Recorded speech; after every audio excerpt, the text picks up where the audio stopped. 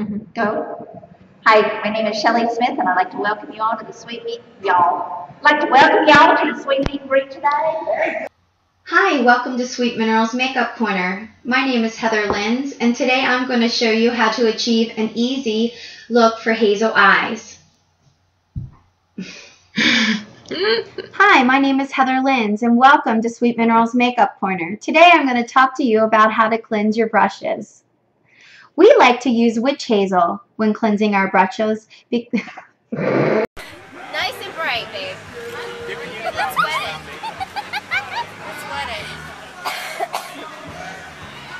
See, she picked blue to go with his eyes. Damn.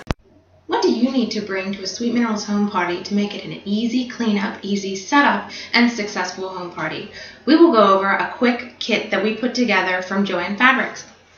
First, you have the container. It's very easy. I can fit everything on the table into this container. You walk in. No, not like that.